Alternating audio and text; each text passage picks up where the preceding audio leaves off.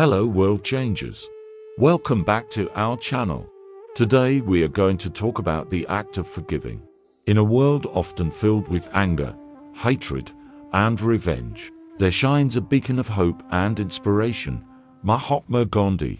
His life is a testament to the power of forgiveness, a lesson that continues to resonate with us even today. Mahatma Gandhi, revered in India as the father of the nation, was a people's leader who believed in the principle of non-violence and forgiveness as a means to bring about social and political change. He faced countless challenges throughout his life, but his unwavering commitment to forgiveness remained a guiding light. But before we begin, subscribe to our channel. Grab your cup of tea as we continue to learn the act of forgiving by the Mahatma. Let's get started. Gandhi believed that forgiveness was a sign of strength, not weakness. He understood that it takes courage to forgive, to let go of anger and hatred, and to seek reconciliation. One of the most remarkable instances of Gandhi's commitment to forgiveness was the incident known as the Jallianwala Bagh Massacre.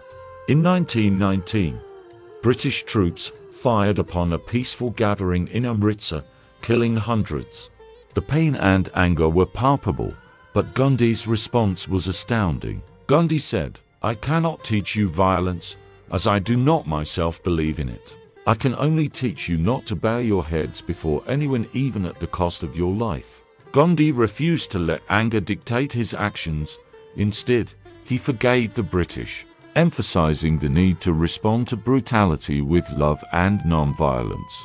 Gandhi's act of forgiveness in the face of such brutality was a turning point. It inspired millions to join the struggle for India's independence through non-violence and civil disobedience. Gandhi believed that retaliation only perpetuated a cycle of violence. He was quoted saying, an eye for an eye only ends up making the whole world blind. He understood that true change could only be achieved by breaking this cycle and embracing forgiveness. Today, Mahatma Gandhi's message of forgiveness continues to inspire countless individuals around the world. From victims of crime forgiving their perpetrators to nations reconciling their past conflicts. The act of forgiveness echoes Gandhi's principles. In the words of Mahatma Gandhi, forgiveness is the attribute of the strong.